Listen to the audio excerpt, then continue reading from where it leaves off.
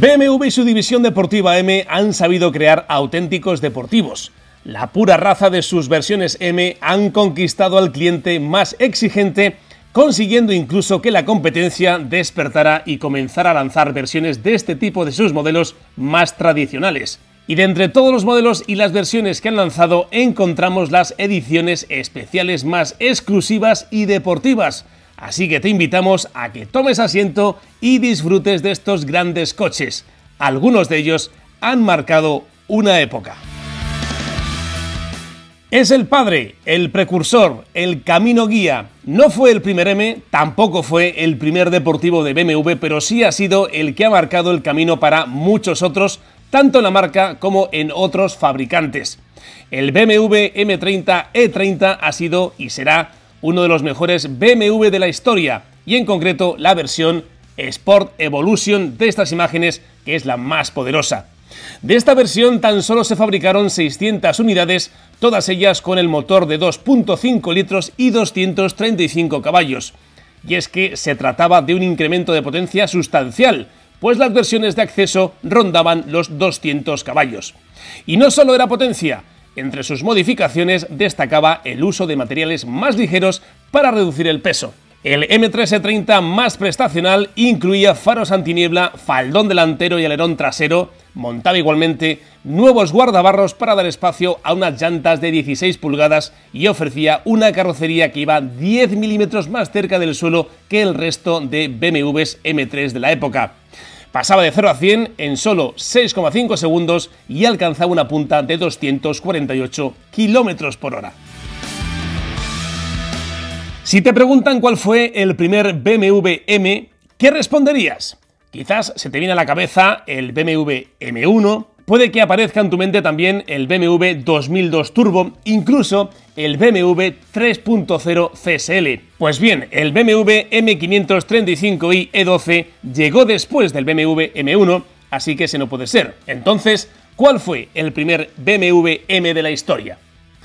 Pues fue este, el 530 ML y solo se vendió en el mercado sudafricano. Se desarrolló en este país fabricándose muy pocas unidades. Los ancestros del M5 tienen al BMW 530 MLE como el padre, un coche desarrollado por la división deportiva que recibía el apellido MLE o lo que es lo mismo Motorsport Limited Edition.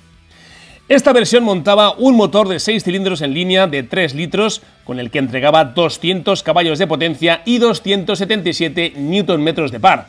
Su carrocería exhibía nuevo spoiler, pasos de rueda de generosas dimensiones, tratamiento aligerado gracias a paneles de aluminio y un laro, etc. Pasaba de 0 a 100 en 9,3 segundos y lograba una velocidad punta de 208 km por hora.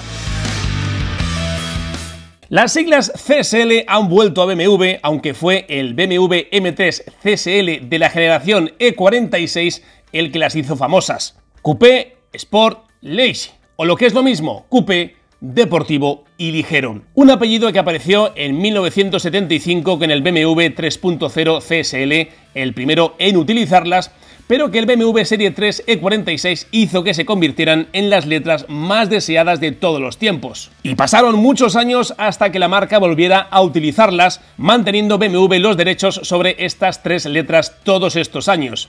Sabían que tenían potencial, pues esta variante supo enamorar a los clientes más exigentes, un coche donde el peso y las capacidades dinámicas lo marcaban todo era 110 kilos más ligero que el M3 original de la época, su 3.0 litros de 6 cilindros en línea disfrutaba de un sonido de admisión diferente y gracias a las modificaciones en las levas y válvulas obtenían 17 caballos adicionales para pasar de 343 a 360 caballos. Todo un rey de reyes.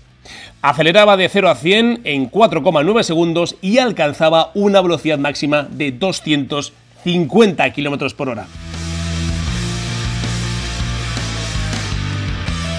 Sí, las siglas CSL son míticas, pero ¿qué me decís de las siglas GTS?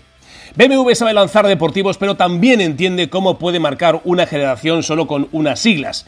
El BMW M4 GTS llegó tras el BMW M3 GTS de la generación E92, coches en los que también se destacaba por encima de todo el peso y la dinámica. Y es que el GTS de la generación F82 está fabricado por completo en plástico reforzado con fibra de carbono, permitiendo por ello ahorrar un 25% de peso respecto al M4. Monta un alerón posterior inspirado en el del BMW 326 E90 que competían en el Mundial de Turismos, un elemento con el que la trasera tiene el apoyo necesario. Aunque quizás lo más especial viene con su motor, con una producción limitada a solamente 700 unidades, cuenta con un bloque de 6 cilindros 3 litros que desarrollaba 500 caballos de potencia gracias a la inyección de agua, una tecnología que aplicaron los de BMW por primera vez en un coche de producción. Pasaba de 0 a 100 en 3,8 segundos y lograba 306 km por hora de velocidad punta. Hacía tiempo que las siglas CSL no ocupaban la zaga de un modelo de BMW, pero finalmente volvieron. Coincidiendo con el 50 aniversario de BMW M, la marca bávara ha presentado el esperado BMW M4 CSL. Se trata de la versión más radical y extrema de la familia M4, un despliegue de tecnología enfocada al circuito. Cuenta con 550 caballos y una producción limitada a solo 1000 unidades. Su objetivo es claro, reducir el peso del modelo y darle una puesta a punto más radical. Por ello, anuncian que han conseguido reducir el peso hasta en 100 kilos, dejándolo en 1625. La relación peso-potencia es de 2,95 kilos por caballo, lo que no está nada mal. Y si hablamos de su corazón, tenemos que destacar que es el mismo motor Twin Power Turbo de 6 cilindros en línea del M4 GT3 de competición con 3 litros de cilindrada. Produce una potencia de 550 caballos y 650 Nm de par, 50 más que el M4 Competition, todo para convertirse de nuevo en el rey de reyes.